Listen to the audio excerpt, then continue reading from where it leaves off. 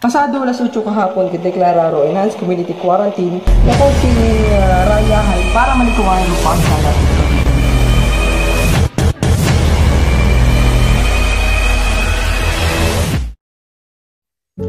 Pag nangangarap ba tayo, inisip pa talaga natin ang hinaharap.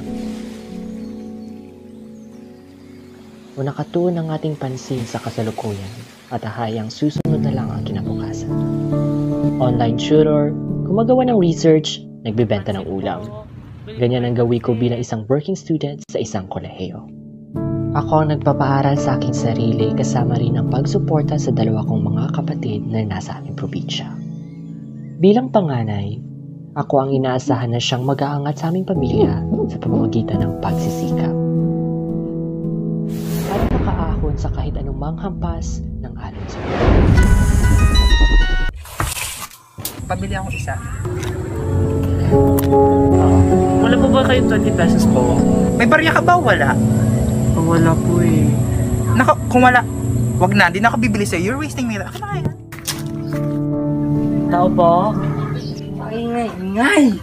Good afternoon po. Magtatrabaho po ako ngayon. Seryoso ka? Eh, eh nag-lockdown na nga, di ba? Magtatrabaho po ako ngayon, sir. Seryoso ka? Magtatrabaho ka? Maglilinis ka? Opo. Seryoso ka? Maglilinis ka? Eh, baka nga makapagdala ka pa ng Wala virus naman po dito akong sa amin. sir.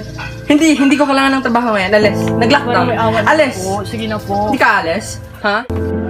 Tao po. Tao po. Ay, mo. Hindi mo ba alam? Lockdown ngayon. Maggamit lang po sana ako ng computer. Ay, hindi mo. Hindi kami nagpapapasok ngayon. Saan nga ba hahantong ang laban na to? Sa sobrang sikip ba ng aking dibdib ay siyang magpapahinto sa akin? O ang pagsikip ng pananaw at kawalan ng pag-asa ko sa buhay? Hello po. Research namin. Opo, opo. Matatapos ko na po yung Kumakayod ako para sa pamilya ko, pero paano? Pagpagod na ako, sino kakapitan ko? Ginagawa ko to para makamit ang isang magandang kinabukasan. Pero paano pag wala na? Research namin. Saan na? Good day. Please settle your remaining balance. Thank you. Na? May extra ka pa ba dyan? Oh, yung renta mo. Bayaran mo na. Ilang buwan na kasi yan. Etong nangyayari na hindi natin inaasahan, naging siyang bukang bibig. Hindi lang ang mga mayayaman, kundi lalo na kaming mga mahihirap. COVID, ECQ, panic buying, gutom, sakit, pangangamba.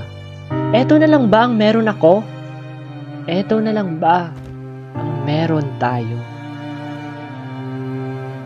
May biyahe po ba ngayon? Ay, wala kaming biyahe ngayon. Lockdown. Ano ginagawa mo? Magnanakaw ka.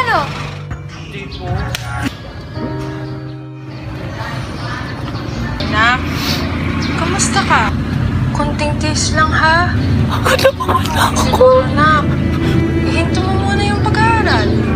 Ang importante, makakain muna tayo. Alam mo naman, ang tatay mo, may sakit.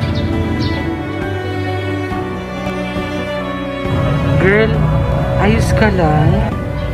Alam mo, hindi lang ito ang naapektuhan ng pandemya ito. Maraming taong naapektuhan. Kaya, laban lang tayo sa buhay. Bangon na. Iangat natin ang ating sarili. Sige, alis na ako ah. mayroong tamang oras at tamang panahon. Huwag mong hayaan na ang iyong paghihirap ay siyang maging hudyat sa pagtigil mo.